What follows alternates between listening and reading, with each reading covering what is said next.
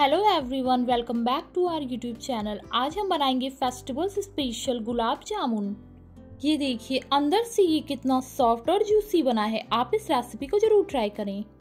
सबसे पहले हम इसका सिरप बनाएँगे। एक कढ़ाई या पैन में हम लगभग टू कप शुगर लेंगे। हमने ये वाले कप से मेजर किया है। आप किसी भी कप से मेजर कर सकते हो। इसी कप से हम लगभग 1.5 कप वाटर लेंगे और फ्लेम को ऑन कर देंगे। और इसे बॉयल होने देंगे। बीच बीच में इसे स्पैचुला की हेल्प से चलाते रहेंगे। मिक्स करने के बाद अब इसमें क्रस्ट किए हुए इलायची पाउडर डालेंगे। आप चाहें तो इसमें केसर के धागे और गुलाब जल भी डाल सकते हैं। अब ये बॉईल होना स्टार्ट हो गया है। जब ये बॉईल होना स्टार्ट हो जाए, इसके बाद मीडियम फ्लेम पे हम इसे तीन से चार मिनट तक कुक करेंगे। इससे ज़्यादा बॉईल नहीं करेंगे। ये देखिए सुगर सिरप का कलर बिल्कुल चेंज हो गया है। अब हम फ्लेम ऑफ़ कर देंगे। अब हम एक बड़ी सी थाली लेंगे और इसमें लगभग 200 ग्राम मावा लेंगे, जिसे हम खोआ बोलते हैं। मावा को अब हमें इसे मिक्स करना है। इसे हाथों के हाथ से ऐसे बिल्कुल अच्छी तरह से रगड़ लेंगे कि देखिए, इसे हम ऐसे कर लेंगे ताकि मावा में जो छोटे छोटे पार्टिकल्स हैं, वो बिल्कुल अच्छी तरह से मिक्स हो जाएँ। कि देखिए, ये बिल्कुल प्लेन हो जाएगा, तब इसमें कोई भी पार्टिकल्स नहीं रह जाएँगे। ऐसे ही हम सारा कर लेंगे। ऐसा करने से मावा बिल्कुल स्मूथ हो जाता है और गुलाब जामुन बहुत ही सॉफ्ट बनते हैं। ये देखिए, मावा कितना स्मूथ हो गया है। ऐसे ही हमें पूरे मावे का करना है। और जो हमने कर लिया है, उसे हम साइड में रखते जाएँगे। अगर आप मावा घर पे ट्राई करना चाहते हैं तो लिंक डिस्क्रिप्शन बॉक्स में दी हुई है। या आप इसे मार्केट से भी ले सकते हैं। ये देखिए, हमने सारे मावा को बिल्कुल स्मूथ कर लिया है। अब हम इसका डो बनाएँगे। हम इसमें मैदा यूज़ कर रहे हैं। हम इसमें थोड़ा थोड़ा करके मैदा ऐड करेंगे और इसे मिक्स करते जाएँगे। हम इसमें टोटल फोर से फाइव टीस्पून मैदा यूज़ करेंगे। हम मैदा तब तक मिक्स करते जाएँगे जब तक ये हल्का बाइंडिंग जैसा ना हो जाए। अगर ये उसके बाद भी गीला लग रहा है, तब आप इसमें और मैदा भी ऐड कर सकते हैं। अगर हमारा खोआ सूखा है तो इसमें कम मैदा लगेगा और अगर खोआ गीला है तो इसमें ज़्यादा मैदा भी लग सकता है। बहुत ज़्यादा मैदा ऐड करने से हमारे गुलाब जामुन कड़े बन सकते हैं, इसलिए हम इसमें कम मैदा ही यूज़ करेंगे। लास्ट में हम बिल्कुल थोड़ा सा मैदा ऐड करके इसे बिल्कुल मिक्स कर लेंगे और इसे हल्का सा ऐसे गूथ लेंगे ताकि ये थोड़ा सॉफ्ट हो जाए। सॉफ्ट होने के बाद हम इसके बॉल्स बना सकते हैं। ये देखिए, अब हमने इसे मिक्स कर लिया। अब हम बिल्कुल थोड़ा सा बेकिंग सोडा डालेंगे। बेकिंग सोडा डालने से गुलाब जामुन बहुत ही फूले फूले बनेंगे और बहुत ही अच्छे दिखेंगे। इसे बिल्कुल अच्छी तरह से मिक्स कर लें। अब इसे हम हल्का सा गूथ लेंगे। हमें इसे बहुत ज़्यादा नहीं गूथना है, बस टेन टू 20 सेकेंड्स तक, ताकि बेकिंग सोडा पूरे मैदे और मावा में मिक्स हो जाए। ये देखिए, अब हमने इसे गूथ लिया। अब हम चेक करेंगे कि ये डो परफेक्ट है या नहीं। इसकी हम बॉल्स बनाएँगे। अगर बॉल्स अच्छी तरह से बन जा रही हैं, तब हमारा डो बिल्कुल परफेक्ट है। ये देखिए कितने आसानी से बॉल्स बन जा रहे हैं। अब हम इसे सेट होने के लिए रखेंगे। थाली में जो एक्स्ट्रा डो लगे हैं, उसे सब हम एक साथ कर लेंगे। और फिर अब हम एक बोल लेंगे। बोल में ये डो को हम रख देंगे। रखने के बाद इसे ढक के लगभग 10 मिनट्स तक रख देंगे, ताकि हमारा डो सेट हो जाए। ये हमने मिश्री ली है। आप चाहें तो ड्राई फ्रूट्स या आप रामदाना भी यूज़ कर सकते हैं। छोटी सी बॉल्स लेके इसे बिल्कुल गोला करेंगे। ये देखिए, हमें इसे बहुत ही चिकना करना है। हल्का गोला करने के बाद बीच में होल बना लेंगे। होल में जो हमने मिश्री ली है, उसे डाल देंगे। ऐसा करने से हमारे गुलाब जामुन अंदर तक बिल्कुल सॉफ्ट बनेंगे, कच्चे नहीं रहेंगे। अब इसे हमें बहुत ही अच्छी तरह से गोला करना है। हमें गोला दोनों हथेलियों के बीच में ऐसे करते हुए बनाना है। और इसे हमें थोड़ी देर तक बनाना है ताकि इसमें कोई क्रैक्स न रह जाए।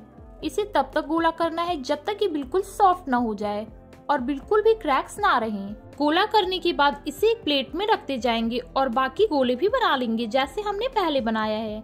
छोटे से पार्ट्स लेके इसे रोल करेंगे। आप चाहें तो इसे ऐसे दबा दबा के भी रोल कर सकते हैं। अब हम इसमें होल करेंगे और इसमें जो हमने मिश्री ली है, उसे भर देंगे। आप चाहें तो ड्राई फ्रूट्स भी भर सकते हैं। पर मिश्री बिल्कुल अच्छी तरह से गल जाएगी। इसे अच्छी तरह से रोल करके प्लेट में रखते जाएँगे। ये देखिए, हमने इसे बिल्कुल क्लीन बनाया है। ऐसे ही हम सारा बना लेंगे।